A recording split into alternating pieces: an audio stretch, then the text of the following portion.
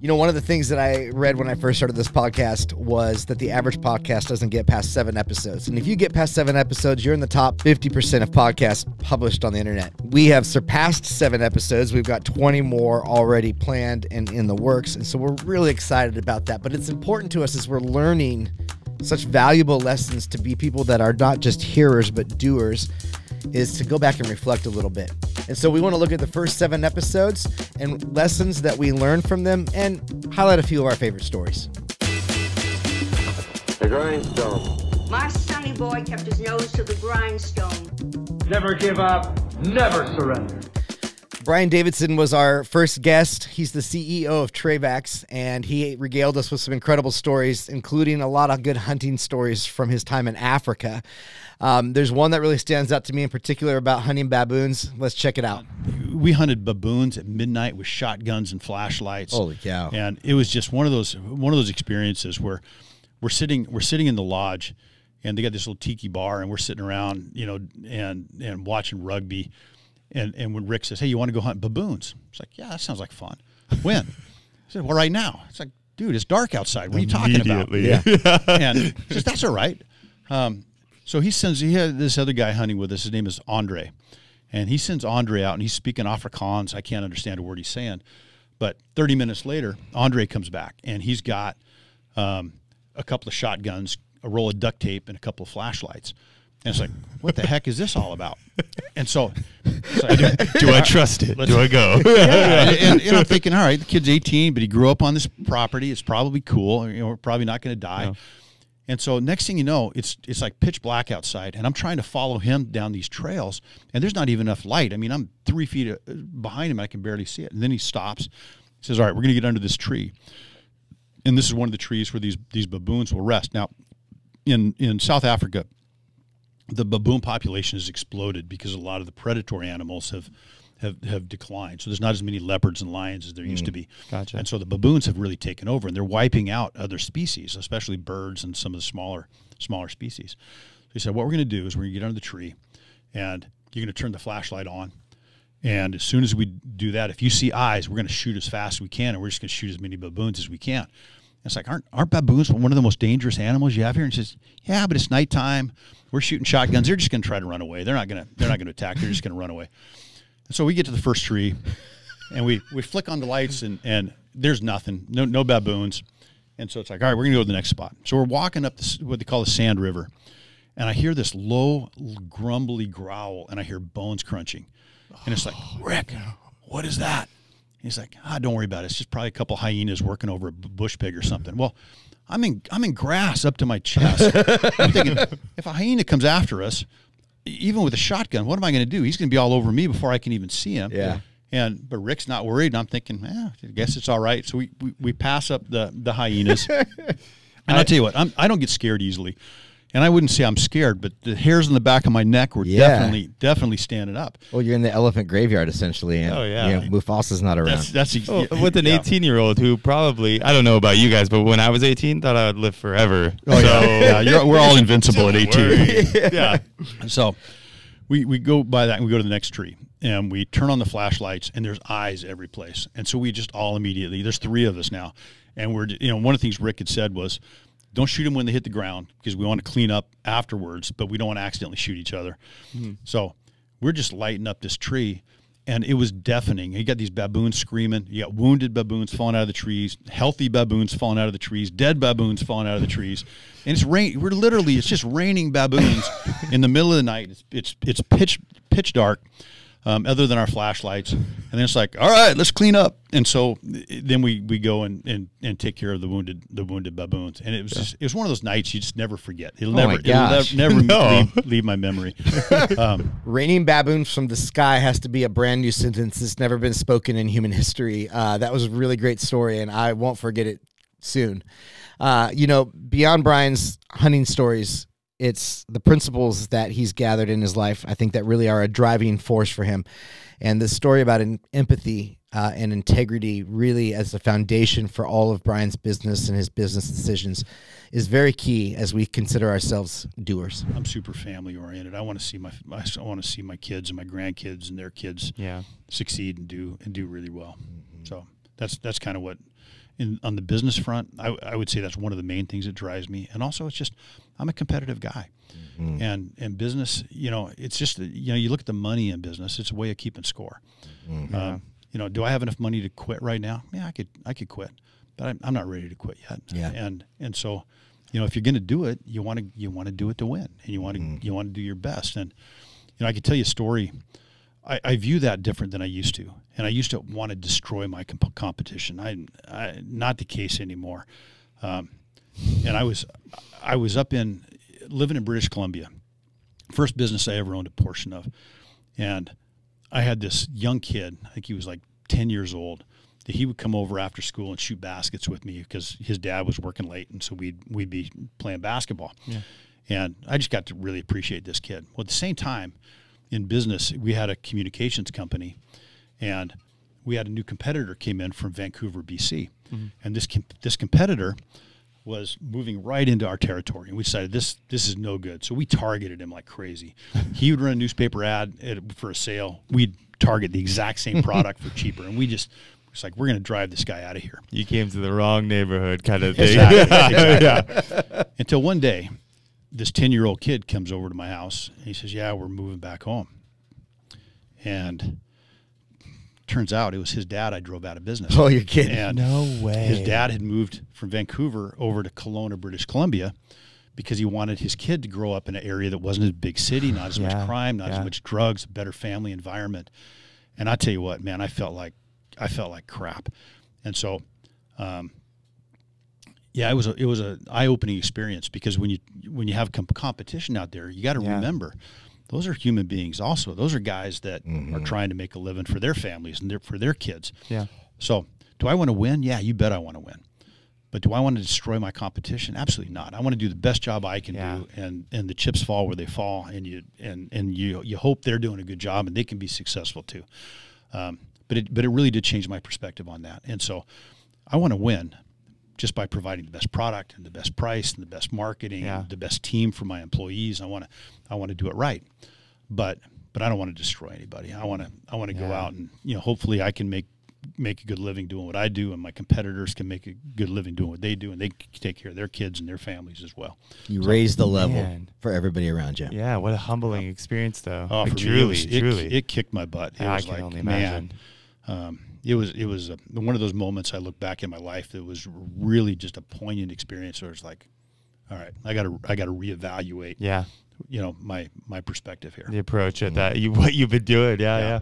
The second episode, we talked with a beautiful bearded wonder, uh, and uh, it was me, mostly because we didn't have guests lined up. But no, really, I wanted to give uh, our listeners kind of some background into the ethos of what drives this podcast. And so um, I share a story about my buddy Tim giving me some very simple steps to accomplish in order to start a project that I was working on. So I want you to take a listen to that and see how his motivation was inspiring. I when I d- got the trailer, my friend Tim was starting an online cigar retail business called Cigars Daily. Yeah. and he was launching it with a YouTube channel and the whole nine. And um, I went to him for advice. I said, "Hey, I'm, I got this Airstream. I'm going to turn it into a cigar lounge. Can you give me some advice?" And Tim said to me, "Get your tobacco license and your all your stuff set up. When you get the paperwork done, give me a holler and we'll hang out." That's so smart. So, three weeks later, I sent him pictures of the paperwork. And next time I was in Arizona, I stopped in and we spent a couple hours together. And I still have all the notes from when we talked. yeah, Because he's like, he said, man, in like the seven plus years I've been doing this, people ask me all the time how to do this kind of business. He goes, and I tell him the same thing go get a license, go, go get your tobacco's license. Just go get that. And he goes, You're the second person in all these years to do that. Come back to me. Totally. He's like, nobody does this stuff. And so for me, that was a confidence booster. yeah, And then when COVID hit, and I'm working on the second trailer mm-hmm. after I, I went from being a conference speaker to a phone salesman, right, for this company because there's no more conferences. yeah. And my my boss came out to have lunch with me one day, and we sat in the half built trailer, and I had the other one at my place because I was refurbishing some of the stuff in it. And he's like, "Do you ever think about just going back and talking to your middle school self and being like, man, don't worry, dude, you're gonna be a badass someday." Yeah. And I thought that's funny because that's not a. I would never say that that's what I am. Sure, sure. But like talking to this guy who's been around for a while to see like, oh, this is really unique what I'm doing. Yeah. Like again, that's a that's a pivotal moment. That's that's the day I started writing about the podcast stuff Yeah. because I thought there's other people like that. I know a lot of them. yeah. Let's start. I should start talking about this stuff. But that was four years ago now, um, or three and a half, four years ago. Yeah. Um, when that really started to take shape, and now here we are, right? Yeah. In a studio that I worked for two months on, and Well, you know, it, it's the you know the same thing I was saying before. It's like you put it out there, you put it in your journal or what have you. You just like even that guy saw that in you and was like, just wouldn't you tell yourself you're gonna be a badass, right? It's Yeah. like it's true though. I mean, like not everyone does this. Wow, like I don't know if um, that last big project of my Tin Can Cigar Company would have ever happened without Tim and his advice. And I'm going to always be grateful to him. And that conversation was a pivotal moment, not only in the project, but also in my life. And that leads me kind of to the point that I wanted to draw from the episode, and it was the importance of writing things down. So let's take a listen to what the old wise one has to say. Yeah, there's a study, I want to say it was Stanford. Was over a decade ago, and they found that anything you write down, mm-hmm. you're 42% more likely to accomplish that thing. And I thought, those are pretty good odds. Yeah.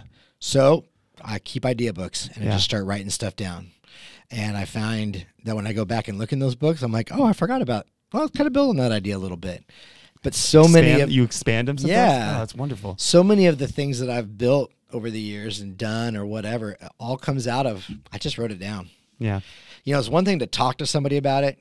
It's another thing to like write it down. Uh, our third episode we filmed before we had even started really doing the podcast. But my buddy Talon Sai was up in the area, and uh, you know I've I've known Talon to be the darling of overland adventuring, and so uh, I was excited to sit down with him. But the thing that was most fascinating to me in his story was the amount of work that goes into producing a YouTube channel behind the scenes. And so take a listen to that story. What about your film crew and your editing team? That's me. I do everything. I mean, I, I didn't. You guys haven't even really seen me like film and video yet, as far as like vlog style goes. But um, yeah, I do everything start to finish. I'm all self-taught. I, I don't have any background in video editing. That wasn't one of your two degrees at Penn State. No, I my two degrees were information sciences and technology, and then I had a minor in security risk analysis. So like, good, great degrees. I mean, in today's world, I can always fall back on those if I needed to. But yeah, not trained in video editing, photography, videography, or anything like that. Um, I run the camera. I do all my emails, do all my phone calls. Um, I do literally everything, start to finish, and and a lot of stuff like people will see what I do and they're like, "Oh, your life's so cool! Like you just travel and just have fun," um, and they don't see like 85, 90 percent of everything else that I'm doing. So Yeah. and I'm not complaining at all. I mean, it, I'm, I'm just saying it's a lot of work. I work more now working for myself than I ever worked at my IT job. Huh. I bet. Yeah, and, and it's that's one of those things where it's like I'm working for myself, sink or swim. I have to do it. But working at the IT job after a while, like I felt like just another number. They didn't really care about what I was doing. So if I work nine to five and checkouts at five, I'm done. Like, don't call me. I'm not doing any work after Yeah. that. So uh, that's unfortunately just how the world is now. Yeah. when you think about people that are creating content, you just think about them all the work they're doing in front of the camera, but it's really the work behind the camera that makes the difference, and that's what I love about Talon's transparency in that story. Um, but beyond that, it was him saying that you have to make the choice to do hard things, and no one else is going to do it for you uh, to get yourself motivated. And so that's a really great principle. Let's take a listen to what Talon has to say. I feel like with the internet nowadays, you can probably turn almost any hobby into something that makes you money in some way, shape, or form, whether it's like a product or just creating content, which it's not for everyone. I mean, I'm not going to recommend like anyone go out there and just try to start a YouTube channel. Um, you have to have the passion to do it. Uh, you can't start creating content thinking you're going to make money because most people don't. Um, it's yeah, that a lot of people will fail very early on because of that mentality. Yeah. And yeah, it's a shame, but uh I know that was a big circle answer, but I think that No. covered most of it. I mean, I think essentially what you're saying is is that you know there comes a point where you just have to make a decision to to take a risk. Yeah. I mean, no one's going to do it for you. Yeah. Like it, you have to be in tune with yourself. You have to be able to control your emotions, your feelings. Um, yeah, you have to do it for yourself because no one else is going to do it for you. Yeah, hundred percent. You know, speaking of writing things down, when I first started writing down the ideas for this podcast over three years ago, Mark Bjorklund's name was the first one I put in there as a potential guest. And here we are, episode four. Mark Bjorklund. That's an incredible story. And probably of all of his stories about land speed racing in Bonneville, it was the one where he loses his vision while going over 200 miles an hour on a motorcycle. Take a listen. So it's like the last day, and it's so hot, and you're in black leather, and you have Good friends and family holding the umbrellas, and you're drinking water. And I was about to go, and we got to get the bike unloaded and pointed at the course, and you know it's a whole thing. And um, and so I had my helmet, and I was like breathing underneath it, like oh, and then the flag drop. Okay, well I never cinched the strap. Oh. because I had been like breathing out the bottom of it. So then uh then I take off and I'm shifting through the gears, but before I left I had put my phone, I had turned on my GPS and stuffed it in my jacket like for whatever reason. Yeah. And I get into the last gear and I'm getting up to speed and I make that one last course correction. I remember I was like kind of going to the left and I turned towards the tower. The tower's right in the middle of the flying mile. And then all of a sudden my helmet flips up. and so the mouthpiece is over my eyes. And I'm like, ah, geez. And I start flipping. I start flipping my head and and I won't back off. I don't know why, but I wouldn't back off. I was like, no, it'll come down. It'll come down. And about the tenth whip, the wind caught it and pulled it down. And I was like, okay. And there's all four flags right in front of me. I had veered all the way over. I'm going 200 and some miles an hour, and there's all four flags, and they have these giant PVC teepees that hold them up. Yeah. You know, they're like 10 feet tall. Yeah. They're big flags. And I was like, oh, shoot. And zipped right underneath them. But I know that I'm going out of bounds, and I'm thinking about the tower, like, oh boy. And for some reason, I started dragging my foot. I mean, I let off on the throttle right away. Sure. Yeah. And I started dragging my foot just out of a reaction because you're going into the rough salt that's not the groomed course. Uh huh. So it's like, and so then um, I steered out of it and steered back onto the course, and I was like, well, my run is ruined, so I might as well just get off the course. And I blasted back down onto the track and pulled off at the end, and and so I pulled off by the tent that's down there, and I threw the bike down. I went running over there. I was like, "You got to stop the course! Stop the course!" I I blew up the eyes or the you know the metering system. I you know I went. th- I knew that I had Mm. done some damage to it. Yeah. So they radio the tower, and then I'm like, "Oh, I have Rex's phone number, the head official up there." So I call him up. I'm like, "Rex, I'm sorry. I'm sorry. I ruined racing for everybody." He's like, Mark, I'm standing here by these flags and I can see your tire track. Nothing happened. Everything's fine. I was like, sweet. Yeah. So I, I happened to miss, you know, the eye or the timing light was like over eight or 10 feet that way. And the height of the flags started just high enough that I shot underneath and the PVC, like if that hit your hand, Oh yeah. 200 imagine miles per hour. Yeah. so then I was like, "Oh, that's right." I, you know, I, I didn't get a time because I missed the timing light. Uh-huh. I pull out my phone, two ten. Oh, you're kidding me. Because your GPS, that's genius. so I started laughing. I was like, "I just went 210 miles an hour trying to get my helmet With your- come back to- Come on, come on, come on!" that might be either the bravest or the craziest man I have ever known. Uh, Mark is uh, really an inspiration, and beyond being an inspiration of bravery, Mark is also an inspiration for hard work. Mark talking about the pushing through the temptation to quit. That really stood out to me as an important principle. So let's take a listen to what Mark had to say about pushing through. And funny story, it was like one month before Bonneville, and I walked into the shop and I was like, Carl, I'm, it'll go, but maybe I'll do some test runs. But it's it's just I cannot get it done in time. Hmm. And that was on like a Friday, and he was like, "Yeah, bummer." And then I thought about it all weekend, and I was like, "No, this is the Bonneville story.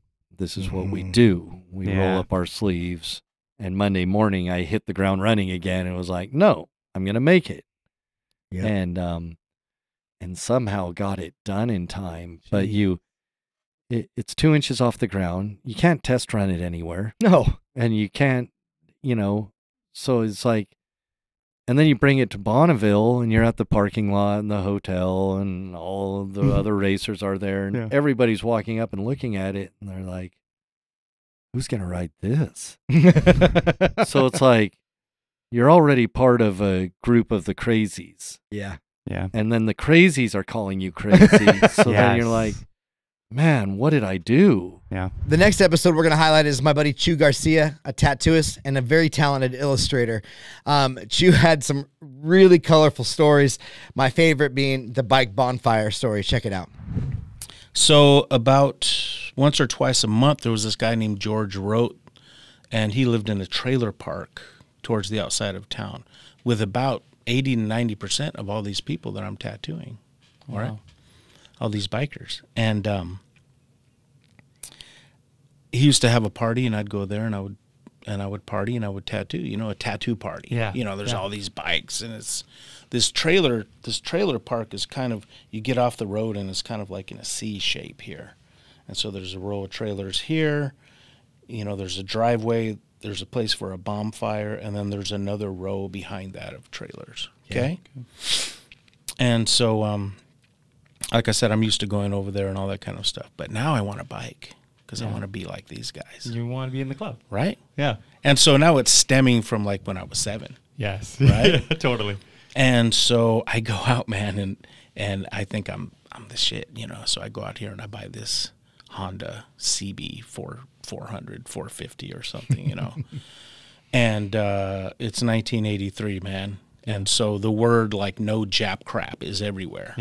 yeah. You know what I mean? made muscle, American that's made, it. you know. so it's like we don't want no Hondas, we don't want any of that stuff. So, anyways, I buy a Honda, and you know, and I go get me a pair of engineer boots and a leather jacket, you know. And uh, I already know these guys, so I I go get me some booze and my tattoo gear, and I'm set up, man. Like I'm feeling good, Yeah. Oh, yeah. you know. Doing the Lord's work out here. Man, I'm feeling good. You know what I mean? Like I'm full of myself. You know, Yeah. like I'm like, yeah, I'm gonna roll into this party. And these guys are gonna see me on this bike, and they're gonna be like, yeah, this kid's. The so I go roll up, and there's about 30 bikes there already. Yeah. And uh, as I pull up, man, the bonfire's going and stuff. And as I pull up, everyone's kind of looking at me like this. You know, eyes wide open. A couple of them are like shaking their heads, like, what the hell is this? And I'm thinking, yeah, I got him, man. You know what I mean? Speechless. Yeah, the prodigal son, you know? totally. So, anyways, man, I get off the bike and this huge man comes over. His name's uh, Brett. Comes over and grabs my bike and rolls it right into the bonfire. How much did this cost you? It was three hundred bucks. oh my It goodness. was nineteen eighty three. Yeah, yeah, but still quite a bit back But then uh, too. it was, yeah, you know. yeah. and uh, he so and so I'm like, I'm like, and now everyone's laughing and they're partying Sure. and they're like having a great time over the death of my bike. yeah. And I'm like confused and shattered. I'm like, what the hell is going on? Yeah. Quickly, George's uh, girlfriend comes out, Cindy. She grabs me. She takes me inside this trailer. yeah. And it's like kind of in the center, so I can see everything that's happening. I'm in the kitchen of this like old 70s trailer, right? She sits me down, opens up a beer, sits it there in front of me, lights up a cigarette. And I'm going off, man. I'm like, what the hell is going on? I'm cussing, man. I'm Yeah. going off. I'm like, I'm not going to stand for this. And this dude George that I that I respected, he raised his voice to me and he said, "Shut up." Like seriously, it was like a bolt of lightning. He's like, "Shut up." Yeah. And so I shut up. You know, I'm confused, man. I'm like Yeah. blown away. Yeah. They threw some Easy Rider magazines down and they started to explain to me why they don't want Jap crap and why Harley Davidson is important at that time and American made and supporting American jobs and all this kind of stuff and explain to me why Brett did that. Uh, oh, I don't know, about a half hour, 45 minutes into it, Brett comes in and he says, What'd you pay for that piece I was like, 300 bucks. He threw 300 bucks on the table. He said, Don't do it again. and he walked out. I tell that story all the time. It just blows my mind. This is a completely different world than the one I know, and I love Chu for sharing it with us. Um, you know, I think one of the things that I didn't expect from uh, a biker in his 50s who does tattoos all of his life is the motivation for self care behind creativity. And it was the advice that Chu gave us about that that I think really stood out to me from the episode. Um, step away, go do something else. Let your mind rest a little bit. I think most artists are just spinning and spinning Yes. and spinning, you know, and especially now with social media and everything, we never stop. We never stop. You know, go camping, go do something, Yeah. walk away, you know. As far as not being, not as far as like not wanting to create anymore, you know, at my age, I've been through that a couple times, especially with tattooing. Mm-hmm. Yeah. If you can't create, I think you got to use that time. I went through a, a really hard time creating, and uh, I quit drinking. You know, Yeah. I got a little bit more uh, into my spirituality Yeah. and um, stepped away from a little bit. And then when I came back, I came back Yeah. hard. Yeah. A You new know. focus, a new vision. Gosh, that's such a good You know. answer. Mark Kotrovsky uh, is a filmmaker and on the side owns his own coffee company, makes high end coffee. I think it was the story about Mark going to Guatemala and meeting the family of farmers that makes the coffee that really stood out to me. So let's go to Guatemala with Mark and take a listen. So tell us about where you got this coffee from. Yeah, so this coffee comes from um, Guatemala, Guatemala, uh, in the region of Huehuetenango, um, which is deep in deep in Guatemala. Um, I was actually there. Went to the farm last February. Uh, we've been partnering with this family for now four harvests. Um, they are just spectacular, just Yeah. entrepreneurs, um, like really cool, easygoing people. Invited me into their home. We had like shared like one of their like traditional beverages together. Wow. They toured me around their farm, um, kind of everything they do. They were extremely grateful for me buying the coffee, but also I was also very grateful for them growing like a really spectacular coffee. And so it was just this like mutual like dude, we're just in this together. Yeah. We live in completely opposite sides of the world. Uh very different people, but we're still evolving around this beautiful thing. Yeah. Um hopefully that, you know, people like you guys can just and drink it at home. I love that story because it really starts to peel back the layers on something that I think we all consume every day but take for granted. That's something that I've really come to value about cigars is you know, I've learned that it takes 300 hands to make one cigar. And in the same way, when we get to look under the hood a little bit about how coffee's made, it's an exciting and great adventure. Uh, so I really appreciate Mark sharing that. I'm also grateful to Mark because gratitude is really the driving force behind all that he did, sharing about sacrifices that his dad made so that he could have the life that he wanted. And he has this phrase where he says, You go until you win. And it was that kind of determination that comes out of gratitude, I think, that really stood out to me. So let's take a listen to that story. despite the challenges that I grew up with, um, I'm so thankful. I would not want to have it any other way because I, I literally think that this mentality, the extreme thankfulness that I feel every day waking up for work is because I saw my dad. Literally, you guys, I'm not kidding you. Went to his day job, worked all night, came home at 4 a.m., woke up at 10, went to another side. Like, like we grew up re- really like not having anything and the fact that i can like wake up and now choose to do what i do when my dad was like dude can somebody just pay me because Yeah. i can work i can work my ass off i can hustle my way through i don't know how to speak english i you know don't have any education can like going from that to frick i'm waking up every every day and i get to do my dream Yeah. job Yeah. come on And I'm sure This he was is- probably pretty positive too. what's up Well, he was probably a pretty positive guy as well. huh? Oh, my my dad is yeah. Yeah. He's he's an optimist. Right? He's he's like he's very positive. Even yeah, I'm I there's there's so much that I'm so thankful for. Um, he's he wasn't perfect, you know. Sure. Parents all have you know is. their own downfalls and upsides, but I'm so thankful for just his like. There's a way you can do this if you freaking work hard. If you go at it, if you try, there's an opportunity, and you go until you win. Yeah. Finally, we interviewed a professional gamer who is also a grandma. She goes by Tactical Grandma. And her husband and Sean and her uh, share about what it's like starting a professional gaming career in your mid 50s. And they share an incredible story about overcoming hate with kindness. Take a listen. I think one of the things I love most about your streams are when you do encounter toxic individuals, how you handle them. Yeah. Most of the time, I handle them nicely. Yeah. Sometimes I'm a. She try, she tries to show Yeah. how you be kind, but you don't mm-hmm. roll over and just take it. Mm-hmm. For sure. You you know you you stand up for yourself. I think my in a thing is like, kind oh, did your mom not hug you this morning? I'll give you a hug. That's Yeah, Stuff see, like I love that because that turns that around. Yeah, and they're like, oh, It's still my mom, killing my mom kindness. did hug me. You're, you're like keeping burning coals on your head. Yeah. Turn it. Do you have any? You know, Oh, there's ahead. though real quick. There's one story where a guy came in and he was trolling and being Mm, really in chat, nasty, yeah. and uh, and she said, "Hey, you know, I don't know what's going on. I don't know if you're having a hard day, you know, but that that isn't kind. Yeah. Are are you just having a rough day?" He's and like, and "I he's like, "I am having a rough day." And she said, "Well, tell me what's going on."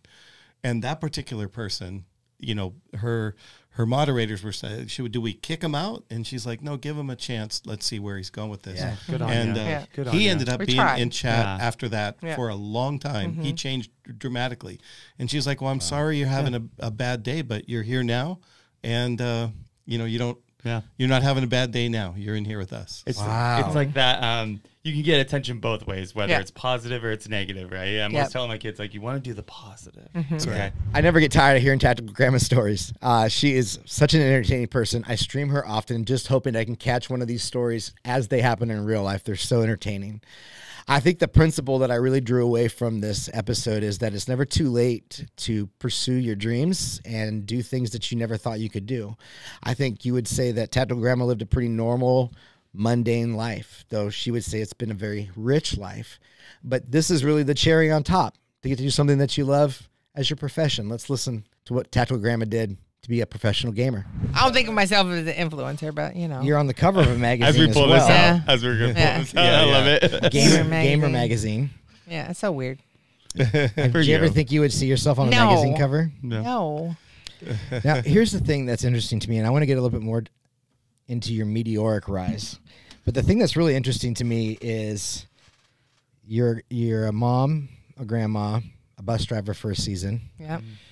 Taco Um, Bell manager. Taco Bell manager. Hey. Amazing. Five layer you burritos. Did you ever think, in my late fifties, I'm going to be a professional gamer Yeah. with No. millions of people watching me? No. She Never. couldn't have I thought mean, that. I never thought, uh, even when I started, I never thought anybody would watch, right? And Yeah. it still kind of floors me that people are in there watching. I'm like, oh, dang, I better do good because you guys are in here. But Yeah. really, for because there's different kinds of content creators, right? There's the guys who are like super cracked at the game and they, you know, get tons of kills a game, and that's what people are there for. And they don't talk to their chat as much. But that's what people want to see is that gameplay. And then there's people that are more entertaining and and welcoming, and that's where I fall in. We're just a place where, yeah, I'm not that great at the game, but I do decent. Um, You and- destroy people. Yeah, Well, I mean, gonna say, I've I'm seen not the like these guys, right? can't So. I'm, I'm like right here. It's but but I think it's kind of relatable to people too because they're like, well, I mean, I could maybe try to do that. And I've had a lot of people start playing video games that never played video Yeah. games Yeah. because they watched me. yeah, we've heard lots of inspirational stories. Especially a lot of females. Yeah, Yeah. I yeah. Yeah. Yeah. They're like, wow, but I'm actually even kind of getting the courage, maybe even talking these lobbies because Yeah. they hear Wow. it too, right? It's it's not fun being a. I mean, they hear your voice sometimes and they just start calling you horrible things. That's I, terrible. I saw I saw uh, there's a lot of highlights of you destroying people that are being horrible to you. which Yeah. is- yeah. The the internet is littered with them, and it, it is very entertaining. So when you uh, are in those situations, like, w- are there any that stand out to you? Like, this was a really fun one for me to to Uh, dominate. Not really. See, I have such a bad memory. so I don't remember. I, I can all, help you. I can help you. I love it. He's my memory. There is one. Drew There is win. one where the guy, uh, you know, called her some nasty names and said, "Go make me a sandwich." And uh, I'll be basically a prostitute. But Yeah, yeah, yeah. He said some some choice words, and uh, like immediately, as soon as he could communicate with her, because they have something called prox chat in Call of Duty. Yeah. So when you get near enough to another team, Oh, you, yeah, you was- can now yeah, talk yeah, to yeah. them. Yeah. So as soon as she was in proximity to this team, this guy starts spouting off all this nasty stuff and says, "Go make me a sandwich, you you know Yeah. b word." And so she jumps off her roof onto his and just annihilates him and says, "Eat my sandwich, bro." I saw that one. That I saw oh, that yeah. one. It's so funny. Yes. It's Yeah. just like, oh I my love that. gosh, we're Yeah. all dying I laughing. totally saw that video. Wow, like I again, I just love tactical grandma stories, and it's so inspiring to me. I hope that as we reflected on these last seven guests, you found something that really stood out to you, maybe motivated and excited you about this.